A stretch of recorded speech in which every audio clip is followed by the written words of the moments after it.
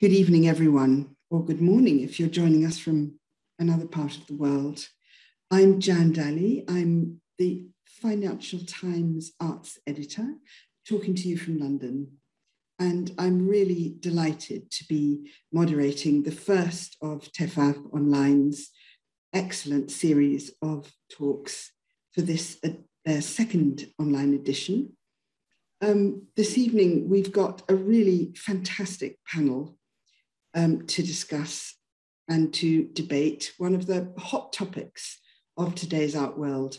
I'll introduce them one by one. So, first of all, Charles Saumarez Smith is an art historian and a museum director. He has been, he has had a fantastic career. He has been the director of the National Gallery in London, the director of the National Portrait Gallery in London. He then um, moved into the commercial art world and was briefly a director of uh, Blain Southern. He is an author, commentator, and all round expert. His new book is called The Art Museum in Modern Times, and I hope he'll be telling us a good deal about that. And we're also delighted to be joined by Jean Claude Gandur, who is one of the leading collectors in Europe today. His collection spans antiquities, Egyptian particularly antiquities, right up to post-war, includes clocks, furniture, and much more. He's assembled a collection so important that it needs an important home. And I hope he'll be talking to us about the search for this home, about what that means to him, and about what that means to many collectors when they're thinking about um, their possessions and their legacy and what they wish to do with it. Then Georgina Adam, who I'm proud to call my colleague at the Financial Times, a wonderful writer, journalist, expert on the art world. She also writes for the art newspaper, but we don't worry about that. Um, she is the author of now three fantastic books. The first was called Big Bucks, about the contemporary art world. The second, called The Dark Side of the Boom, which um, lives up to its name. And the third, which is just out right now, is called The Rise and Rise of Private Museums. So, really, from Georgina's um, research, we thought that we would talk about this, which is one of the most significant issues now facing the contemporary world of art. I don't mean the world of contemporary art, I mean today's art world. Um, so we've called our, we've called our talk Public Spiritedness versus Private Passions, the Great Debate. And I hope you'll agree with me that this is a very important topic. And I hope it's one that will resonate with many of you. So I'm going to kick right off by um, coming straight away to you, Georgina, to put it in context. Why did you choose this as one of the burning topics of today's art world? Why is the issue of private museums and the establishment of private museums so important? I think it's important because so many have been established this century. And I think what's important is that we have seen um, a shift from museums basically being publicly funded to collectors wanting to have their own space to show their collection. And what astonished me when I started researching the subject was that there are between 300 and 400 of them around the world, from China to India to South Africa to Brazil. There's a wonderful place in Brazil called Inhotim, which is an art park but also shows artworks. So I was very curious. I'm always interested about the, the, intersection between art and money and this obviously translates as people with a great deal of money who've been able to constitute a collection, but who have decided not necessarily to leave it to their local museum when they pass away. So I was very interested in the legacy aspect of it, and I was very interested in the motivations of collectors who make that decision. And I'm really looking forward to listening to what Charles, with his mm, vast experience, much, much more than mine, and uh, Jean Claude, who I have actually profiled in the pages of the Financial Times. And Jean Claude is really a true collector. And sometimes collectors are collectors in name only, but that's not the case for him. So I'm really looking forward to listening to them and hearing what they have to say. The final thing is that I think there is, because I come from an art market background, there is at the moment a big problem is that uh, some collectors have got so much money that they can outbid public institutions. And I think this is causing a lot of tension. Public institutions and museums are under stress at the moment for lots of different reasons for what they've collected, perhaps their lacks of diversity in some cases. Um, in fact, the whole definition of a museum is under, under question at the moment. Um, in addition, there's this, this aspect of being outbid. They're looking at falling endowments. So I think it's a really rich subject, and I think there's a lot. I'm really looking forward to hearing what your other two panelists have got to say. well, it certainly is. It certainly is a rich, um, rich topic, but and also, as you say, something that's changing with huge speed. I mean, in you know, when when I was growing up, um, you know, in in Europe, we'd hardly heard of private museums. Yes. In America mm. is a different matter, of course, mm. because that's always had a different um, ethos in, in the way in which um, art is shown to the public. Because I think what we should remember here is that we're not, what we're talking about here really is the, is the philanthropic impulse of collectors to show their work to other people. We're not talking about collectors who just want to sort of keep all their stuff at home and that's absolutely mm. lovely, or in storage or wherever they keep it. We're talking about um, people who are mass important collectors and have a generous spirit and wish it to be shared, wish it to be shown, often have a strong educational um, impulse as well. So it is really all about how privately held works get seen by the public. Think, I think that's right. Is it? Is, it, is that right, Jean-Claude? Is that what you would say as a collector? And it's, as you said, it's a very vast problem uh, for me uh, in particular. Uh, the collection is big, as you said. It's about 3,500 different artifacts in various departments. And I had, I had to make a choice one day, either to go to a museum, because you have three models. It's not only two, you have three models. One is your private museum, one is the public museum, and the third one is a joint venture between you and a public museum. I think it's very important to keep in mind that it's not yes or no. You can also have a kind of mixture. Now, I would like to add that America and Europe cannot be compared at all. It's two different worlds. Uh, in the United States, people are very free in building whatever they wish, wherever they wish. In Europe, uh, especially in the country where I'm a citizen, Switzerland, the, the land is very small, very reduced, i.e., to find a proper place to open a new museum becomes more and more difficult. Therefore, probably I will have to expatriate if finally I take the decision that to build a museum is the answer to uh, my needs. I'm not totally convinced. I'm not totally convinced.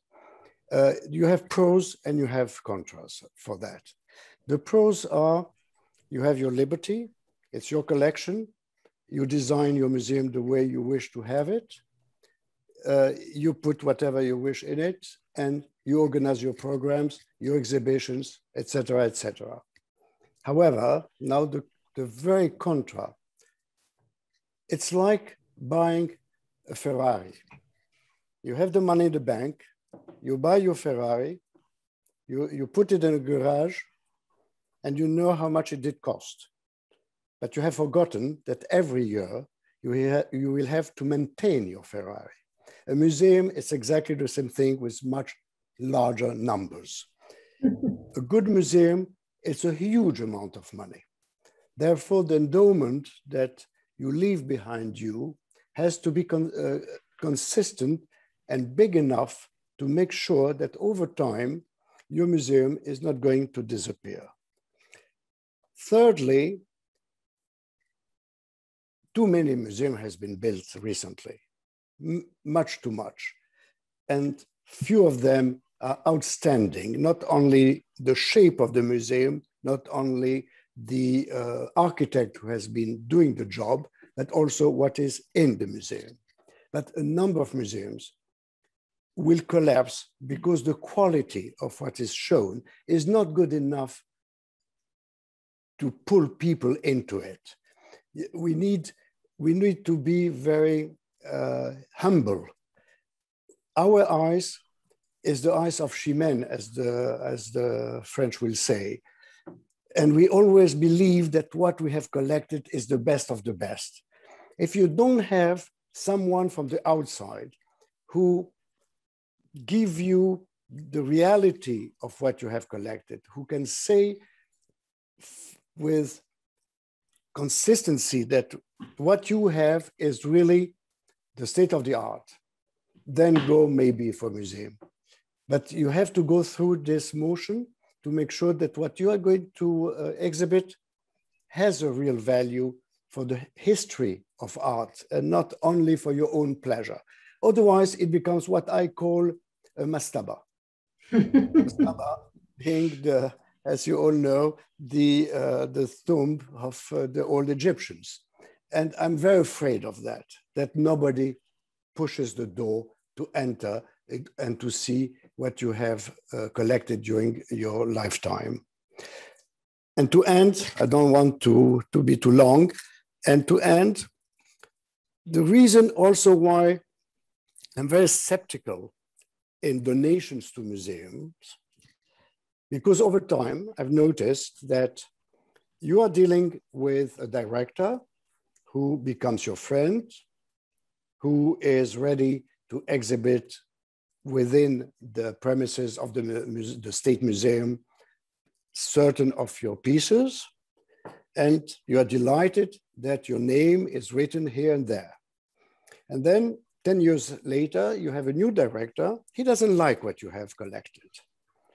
And you discover that most of what you have given, offered to the museum, disappears to the cellar. And that's my worry with private collections, is that unfortunately, museums are rich, not with money, but rich with artifacts. And they will turn their collection in such a way that they, they do, each director will choose with his curators what kind of objects, what kind of paintings he wants to exhibit. So it's a big frustration also for a collector. Yes, I understand that completely. So that's that's a very strong motive for establishing your own space, isn't it? So that you can effectively control the way in which your objects are shown. I can completely see that. I expect that already many of our audience are um, itching to ask some questions of our panelists. And I should have said at the beginning that you can send in your questions through the chat function. Um, just write them down at any point during the um, the talk and they will they will come through to me and we'll leave a good 15 minutes at the end of our hour together to address your questions so please send them in and now charles we'd love to hear from you um, charles you've directed one of the great museums of the world the um, london's national gallery and um, of course all the great museums of the world are made up in very large part of gifts from private collectors. Can you tell us something about um, the role, really, of that impetus, the private collector who then wants to donate to the nation, or why, why that happens, how that happens, whether it's lessened over the years? Well, the example I was thinking of when Jean Claude was talking about with the Mond family who gave a big bequest to the National Gallery in from memory, although I wrote about it when I was National Gallery, it's a long time ago, in, in the 1920s. He was the person who set up on chemicals, and then that became ICI in about 1927. And he was a big, very, very significant collector with good advisors.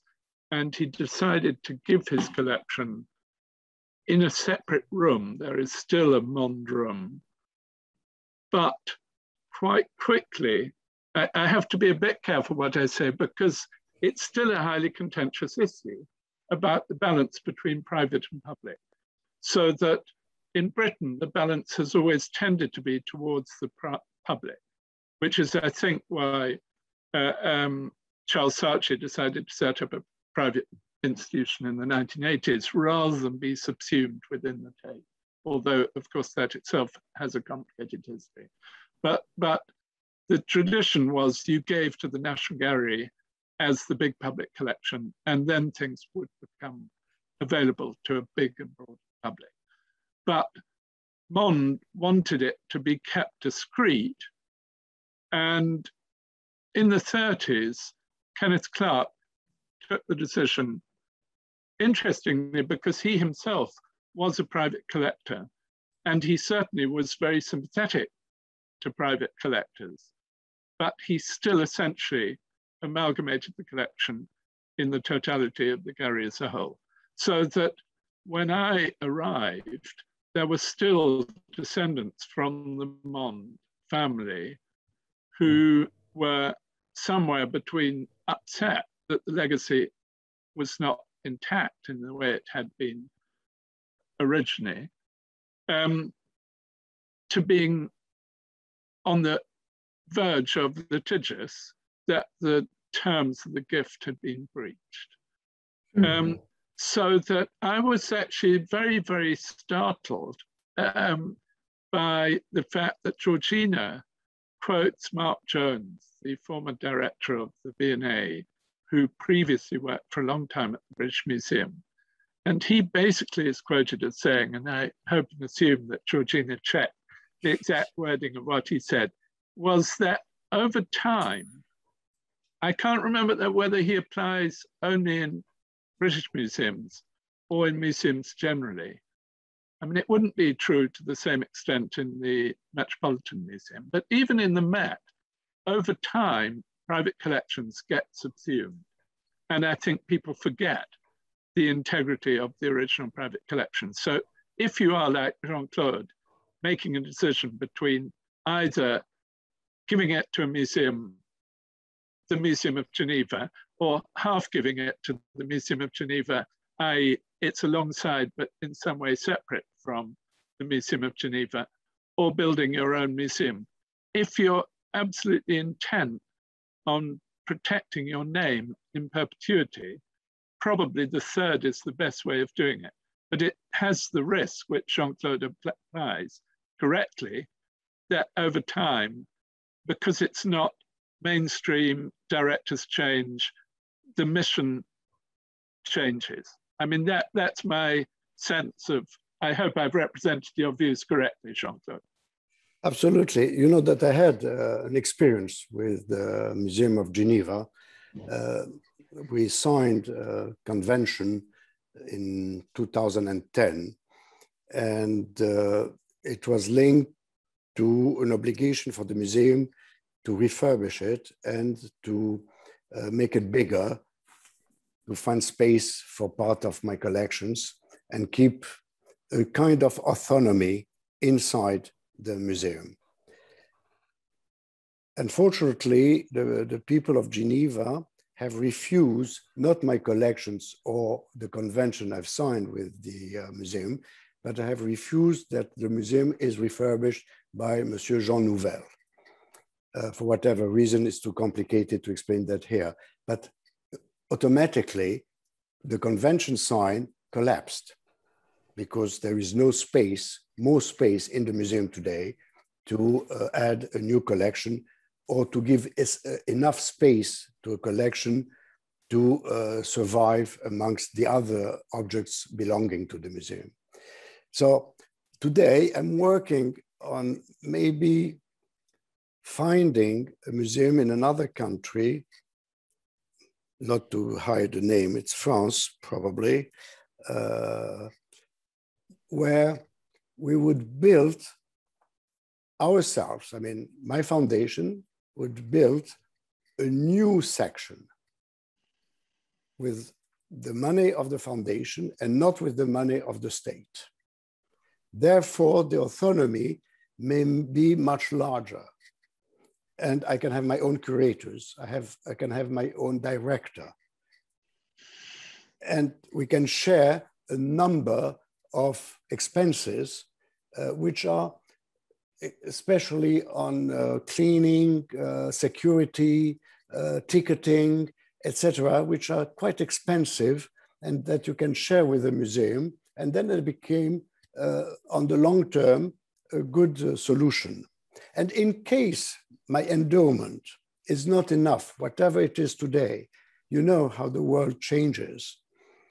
Uh, at least you are protected in a way. A museum will never let down a collection which is attracting people. So that's why I like this mixture. I think, I think it's a wise way uh, in, uh, in giving a room and a roof to a collection. People will go to the State Museum and next door they have a new uh, aisle they can go in with different exhibitions, with different style of, of artifacts. You know, very few museums in Europe have very large antiquities collections, apart the very big. I mean, you have four, five archi big, and then you have few museums in France, in England, here and there, who has nice pieces, but in a very small quantity. So, and it's very curious. Museums are much more interested in my antiquity collection than paintings, which has been rated by uh, the, the uh, director of Beaubourg as probably the best after war collections after Tate and Beaubourg in private hands. So I'm surprised, but is direct... that because because it's so hard for them to acquire antiquities now because of the constraints um, around, I mean, the ethical constraints, so that they're interested in being able to acquire a collection which already exists in depth. I, be, I think you're right. I yeah. think this is certainly one of the motto. Uh, the, uh, the, even for me today, if I buy 10 pieces per year, it's a challenge. It's a challenge. Mm-hmm. And it takes so long to go through the diligence to make sure that the documents which are provided are genuine and not fakes. You know, mm-hmm. uh, I can tell you that I uh, one day I was confronted with uh, very nice pieces with a very good uh, provenance, of which a document from a notary in, uh, in South France uh, during an estate. So it was stamped by the notary with, with all the names. And then because I'm, a, I'm curious, I started to look if I can find anything about this notary. I couldn't find anything on internet. So I went to the mayor of the town and I said, do you have a register of, uh, because as you know, uh, notaries have to re be registered uh, officially. And we couldn't find any trace. It was a fake. An absolute fake. That, that, that's that's fascinating. So you can have you can have a genuine artifact with fake fake documentation. Yeah. Yes. Georgina, I know you wanted to come in here. Oh yes, I did just want to say to, to to reassure Charles that I did check that quote about not giving mm. you know, with with Mark Jones. I mm-hmm. did want to just say he definitely said it. That is not fake news. He definitely said it. he's of course no longer in the business of having to attract private donors, so he's he's able to say what he thinks independently of the consequences. But I'm uh, very Georgina is very reliable with her sources. but, but, but, Georgina, tell us tell us a little more about um, what both Charles and um, Jean Claude have said about this business of the the great urge of collectors being to keep the work, keep the integrity of the collection, keep the personality of the collection, and the name of the collector intact. Is that something that you've? I mean, you've now. Um, uh, interviewed dozens, if not hundreds, of um, of people who have set up private museums across the world. Is that is that the most common um, urge that that um, you find? Absolutely. I mean, I, I think that uh, Jean Claude absolutely hit the nail on the head. Is it's a question of control. There's a there's a terror that the collection won't be kept together, that it'll gradually disappear. Exactly what Jean Claude said, and this is why they they set up their own museums because they want to keep control of the way it's presented. And of course, the interesting question is the Barnes Foundation in America, where the founder had very precise ideas. But the trouble was that was sustaining it financially. And in fact, there again, I was very, uh, I uh, was very impressed when I spoke with Jean Claude because he said to me in the interview that we did together, he said to me, I didn't spend, I can't remember how many years, 40 years, building up a collection to see it dispersed when I pass. And he has set up a whole structure so that the so that his collection can continue, the foundation can continue. And I think that is a really interesting aspect, the legacy aspect of, um, of private collections the uh, Eli Broad, who died recently and who spent an enormous amount of money on the Broad in Los Angeles, and he left an endowment of $200 million, which is wonderful. But that collection has got works by, for example, Damien Hirst, uh, not Damien Hirst, I was thinking um, of Jeff Koons. And you could you could spend the whole endowment in one go on a Koons these days. So I think this is really something that's really problematic for um, for collectors who would like to establish their own museum is how can how can they really sustain it long term in the future um, they have to think of a way of making it it pay in some way because exactly as jean-claude said you can't know what's going to happen after you've gone things can change enormously well i suppose that, that this this idea of the third way which is exactly mm. what jean-claude has has described is, is, is very, very important. Charles, we don't really have that in Britain, do we? I mean, it, is there any is there any institution here where, I mean, I think, um, is it fair to say that Britain is quite behind um, many other um, countries in Europe and certainly in America in the establishment of private museums. We just don't re really have that many yet. Not, well, well the Sainsbury collection in the University of East Anglia is, I think, a good instance and I wasn't familiar with the story behind it. One of the things I enjoyed about doing the book was that it gave me an opportunity and necessity of learning more about the background to the museum. So the Sainsbury family, uh, Bob and Lisa Sainsbury, offered the collection, which I don't think is generally known, first of all, to the Fitzwilliam. And the Fitzwilliam said, great, we love all the paintings, but we don't like all this ethnographic stuff so that if you give it to us, we'll give the ethnographic stuff to the Museum of Anthropology, the Museum of Archaeology. And they said, no, the whole point of it, the whole point of the collection is the integrity of it. It's our view and included, of course, ceramics. And so that's what led them to um, give it to the University of East Anglia.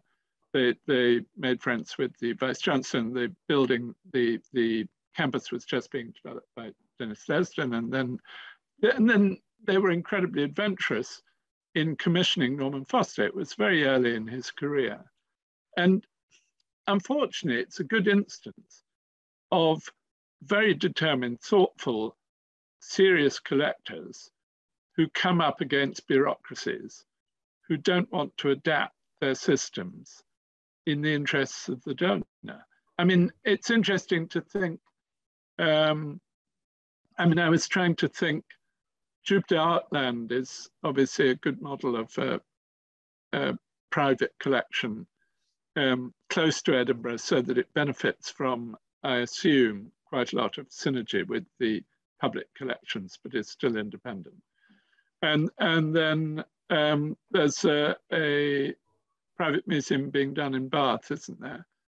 But, but it's not yes. as common in this country. Yeah, uh, yeah, but I mean, we, we've, we've got effectively a handful compared to dozens and dozens, let's say, in, in Germany. Mm. Um, let's turn to another aspect now of, of um, the whole question of a museum mm. and what, what we, because really what it brings up is not just the the um, the the collecting life of an individual, but it also brings up the whole kind of point of showing art to the public.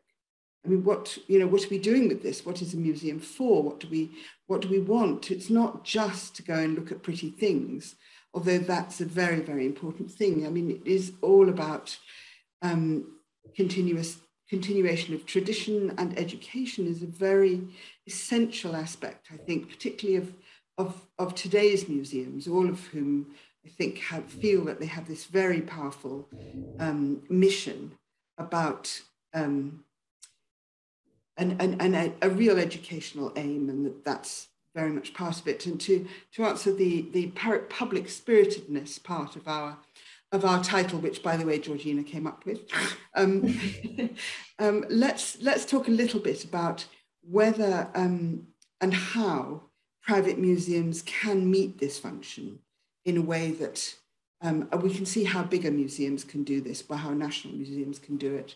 Um, so um, can I come back to you, Jean-Claude? Do you feel that the the idea of, of showing your work to the public in order to to, to educate them culturally is an important part of what you wish to do.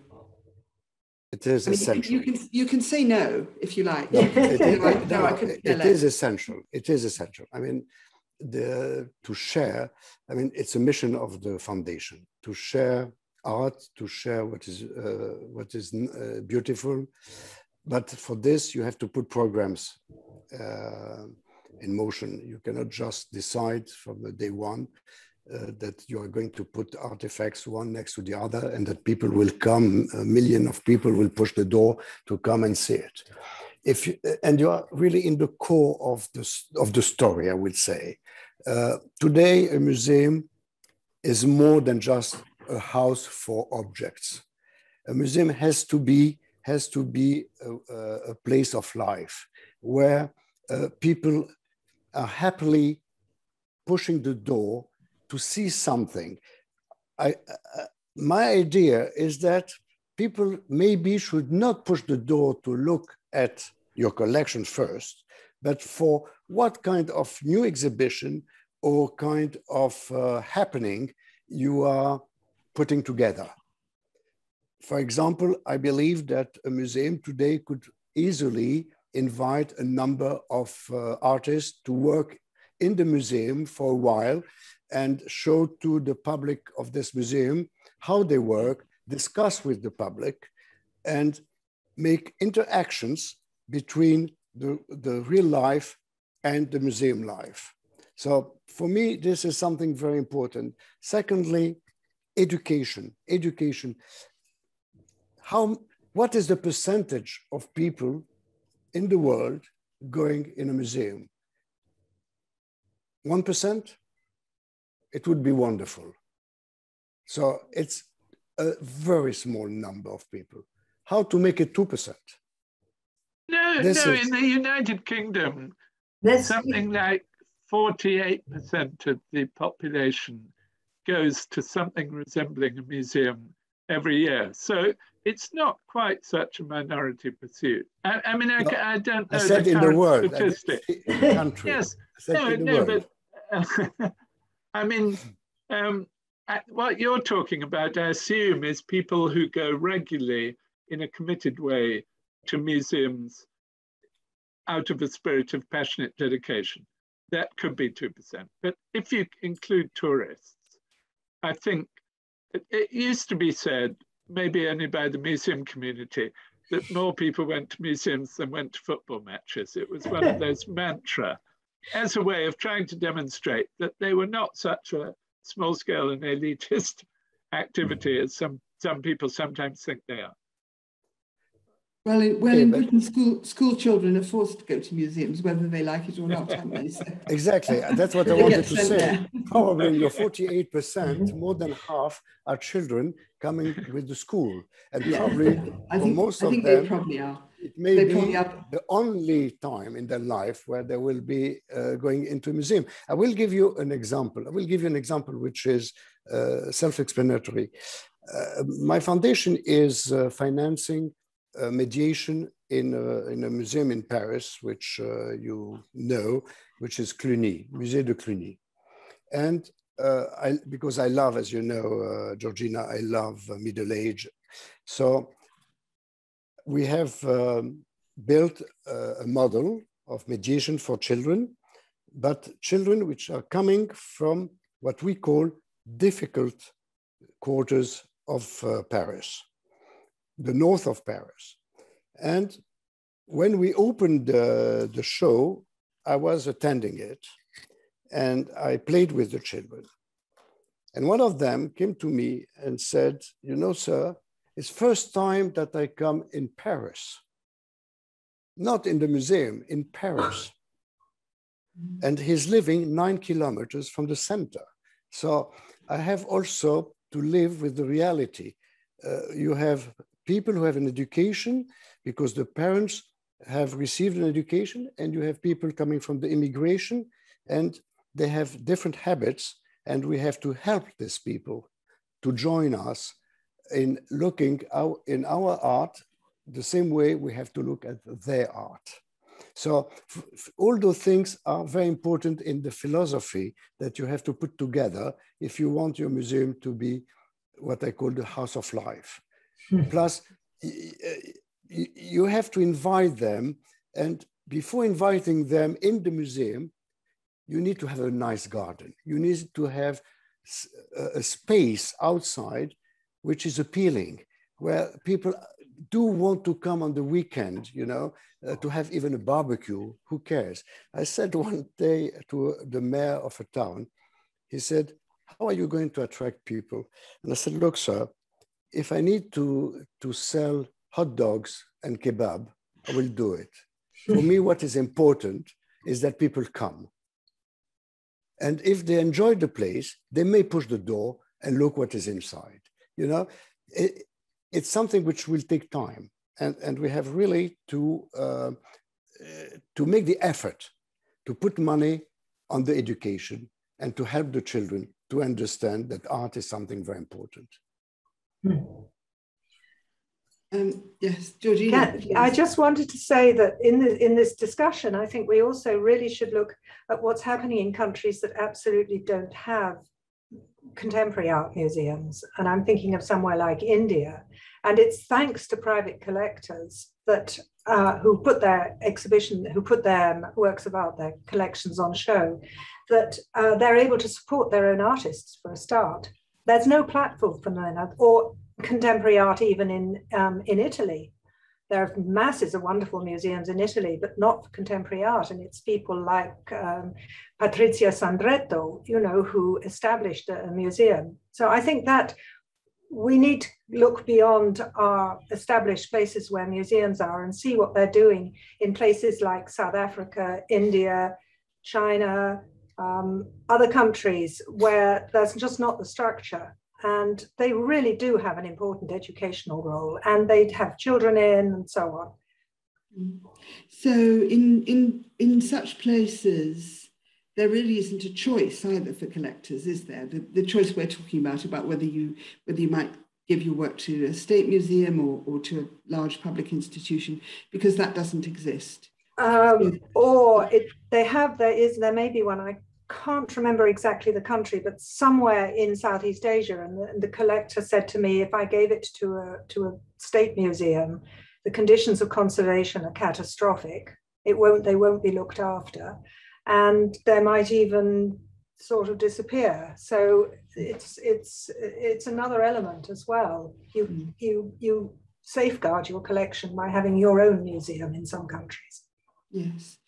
So I'd be interested Sorry, I'd be really interested to hear Georgina's views of the private museums in Shanghai, because in a way, Shanghai is a place which has gone to the other end of the spectrum where the public city is in, actually encouraging and essentially subsidizing private collectors to come in and establish their own museums.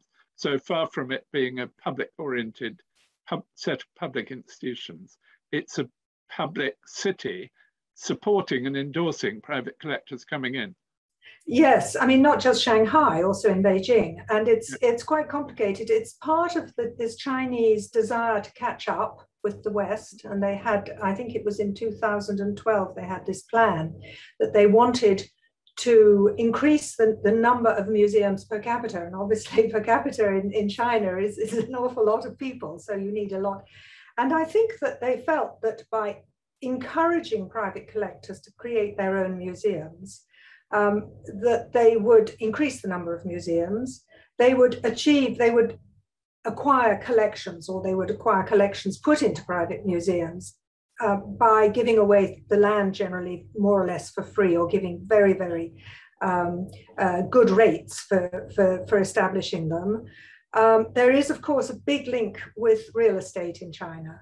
It really is a very different um, scene going on there. And a lot of real estate uh, promoters will add a museum in to their real estate development because they get extra zoning um, uh, facilities, they're perhaps able to build a bit more. And in some cases, those museums become what a Chinese uh, museum director told me were mosquito museums, i.e., they're only inhabited by mosquitoes once the real estate project has been realized and there actually isn't a real collection. So I think Shanghai, which has seen an enormous boom in the number of um, of museums goes from wonderful ones like the Rockbund, which I'm sure you've seen, to, to other ones that really, quite frankly, are, are, are not worthy. Um, perhaps in future they can build up those collections gradually, but very often the Chinese collectors, they just haven't got the depth really. You know, they've got a few prize objects, but it's going to take them a while before they can produce a really good collection with consistency. That's that's very that's very interesting. So it, it is. I think I think what we're hearing. I mean, we already all said to each other, didn't we, at the beginning, that we can't really compare the American scene with the European scene, mm. and now, of course, across the world, those differences become even more intense, really, don't they? Mm. Um, and mm. it becomes becomes more complicated to to make these um, these uh, these distinctions. Well, look, we've got some great questions coming in. So just, perhaps, um, just, uh, just before we, sorry, we go yes. to question, there is one. Uh, we have to warn also the European uh, collectors that, contrary to the United States, the public doesn't uh, give much money to mm. private museums. It's not. It's not the habit in Europe. In no countries I know where you can say that you have a group of people who are ready to give money every year to make sure that the museum will grow, that uh, you can continue to buy. And also, uh, it is essential, I think, people must understand that money is good to maintain a museum, to make it work. But if you want your museum to grow, you need to have big supports. Uh, if you don't grow a collection after you, and you don't give the authorization to uh, your uh, your heirs, your museum will become, uh, as I call it, a mastaba. You mm. know, uh, you, you really need to show that things are moving. Mm. The, the, the, state museum are more like uh, the National Gallery, for example, is, is one period of the history. But if they find something important on the market, they find the money to buy it. Mm. You, as a private, you will not. Can I just say, though, that you do have, for example, we have Sir John Soane's Museum here, which is a capsule of a collector's taste, and that works. So sometimes you can have a collection that is so good and so interesting that it's, well, it now it has been given to the state, but it was originally a private museum. So I think a lot depends, as you said at the beginning, on the quality of the collection. Yeah, sure. Yes, and and also since that one's in in its original place, in its original house, yes. there, isn't, there isn't an inch in which to put anything more. Yes. and the success of your model. And the yes. success of your model. Yes. Because you will be supported by the town where you are if you bring new people to the town as tourists. Yeah. Because you cannot survive. Isabella Stewart Gardner is a version of the same because Isabella Stewart Gardner has the same restrictions on growth. It has added a wing, but what people go for is the sense of a display which remains intact and mm -hmm. is very mm-hmm. atmospheric.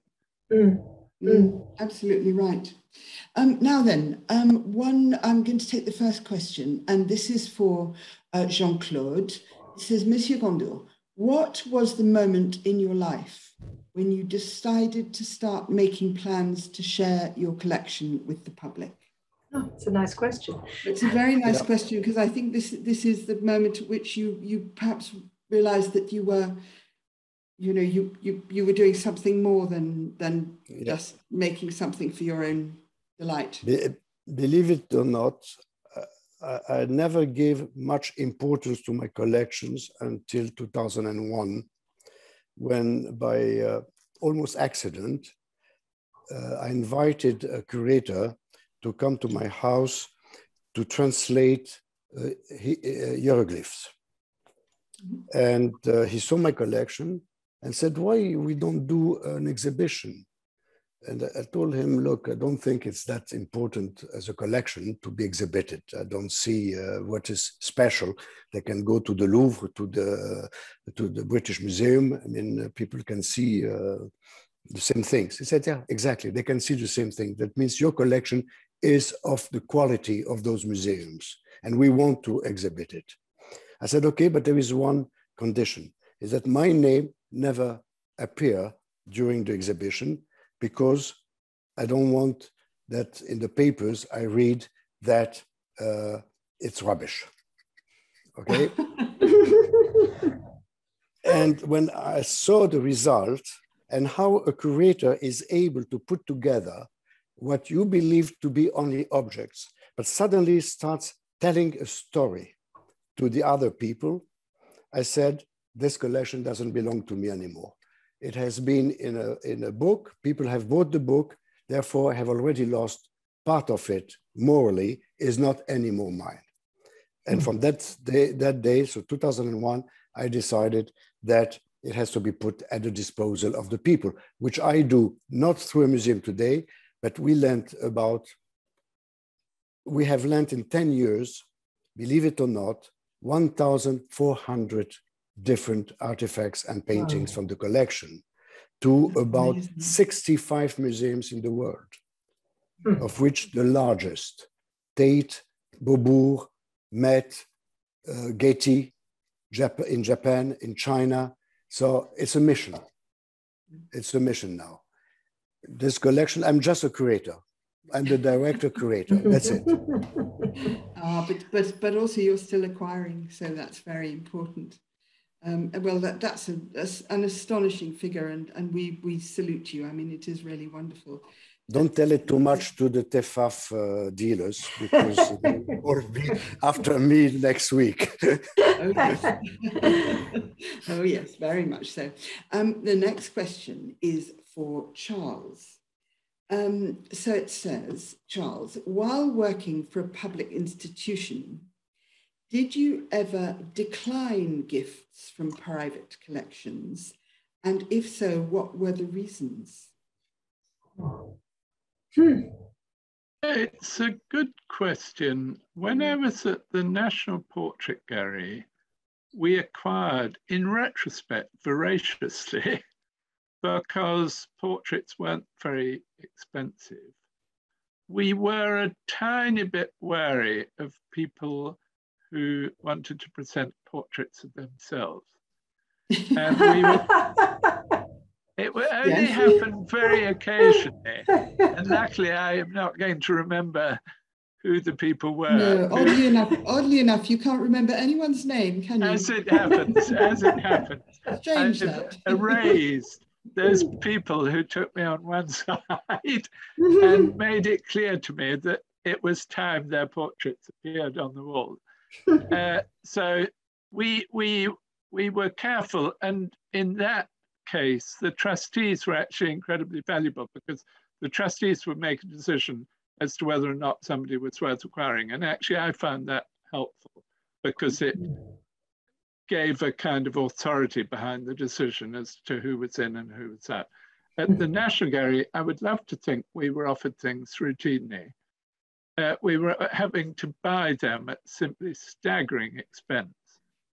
And I certainly don't remember, um, I don't remember tricky issues, and I definitely would, because I remember only too many tricky issues about big acquisitions, but they were big purchases.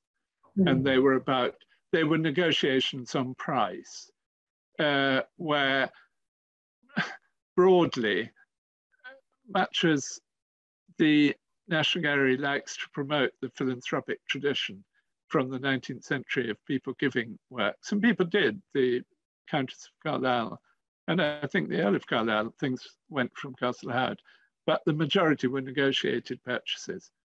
Um, and then the Royal Academy was not really an acquiring institution in the same way it's not a museum in a conventional way. So, so I never had to face that issue. I mean, it, what probably lies behind the question and was something I was encouraged to deal with, actually by my editor, he said, you can't deliver this book without having something about what I've called the morality of wealth. That is, the extent to which it's legitimate to have trustees and sponsorship and support from people who one now increasingly in a different moral environment from what we had in the past, people are very dubious about.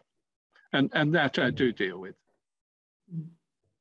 Yes, thank, thank you very much. Well, unfortunately, our time is, is rapidly coming to an end, but we have one more question. Um, actually, we have more than one, but here's one. Um, mm, I think this maybe we've covered this. Um, so if you think we have, we'll move on. But the question is, the questioner asks, could you share your views on how private collectors showing individually at a major public museum might best achieve a cooperation, ensuring a collection's intrinsic content equals the commercial drive of such endeavors? Well, mm. Um, mm. perhaps perhaps we have answered that question. Do you think we have? Mm. Well, the, the only thing I would say we didn't quite cover the history of the Broad collection, where of course he is an example of somebody who wanted to give his collection to the Los Angeles County Museum, and indeed built a wing of the Los Angeles County Museum to contain it, and was himself very involved in the selection of its director and was a very active trustee and donor. And then, for whatever reason, decided actually that he would build his own museum next door to the Disney Concert Hall. And, and that switch, I think, is very interesting if you're looking at the recent drive away from public institutions towards private museums. Yes, that, that's, that is interesting. And um, we've literally just got two and a half minutes, but um, this might be, be one worth answering. Going forward, would it help if public and private join forces in acquiring artworks together based on the wishes of the museum?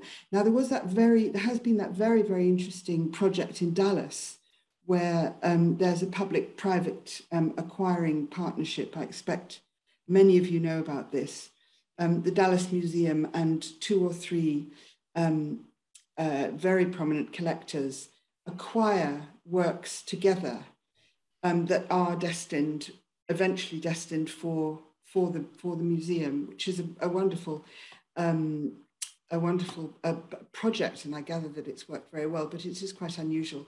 Um, uh, Jean-Claude, what, what's your feeling about that? Um, would you ever, would you ever, or have you ever been part of a, a kind of joint acquisition um, project? It was not a joint acquisition, but one day the Museum of Geneva has approached me uh, because they wanted to buy a Corot, a very important Corot of the period of the Italian period. And uh, they could not afford to pay the price. So uh, what we have done is I, I, said, okay, but I need to find another another uh, foundation who is ready to share the, uh, the cost of the purchase, uh, which we found and we bought the Corot in an auction. But because of the, the, the, the obligations of my foundation, we cannot give it as a gift. It has to remain the property of the foundation. So what we have done, what we have done is that, and I think it's an answer to other questions that I have and people may have, is I, I lent you the Corot as long as it is exhibited. If it's no mm. more exhibited, we will put it in another museum. Sure. Well, that's so that's, De Corot really... now for more than 15 years is exhibited. Ah. well, my daughter-in-law is very careful because she's a lawyer, and she told me, believe me, after you, we will be looking that the Corot is still exhibited. Otherwise, I think it has I'm to be so, shared. I'm so sorry. I'm going to I'm going to have to stop us because I have very strict instructions, and we've got uh, only seconds left. I just wanted to take those seconds to thank you all so much for this fascinating discussion, for um, for um, sharing everything. I'm so sorry, my timer went off um, for, sharing, for sharing all your thoughts, your expertise, and your wisdom.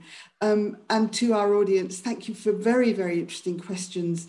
Please enjoy TEFAF online and um, join me in thanking our wonderful panel. Thank you very much. Night. Thank you for inviting Thank me. You. Thank you, Jen. Bye-bye. Bye-bye. Bye.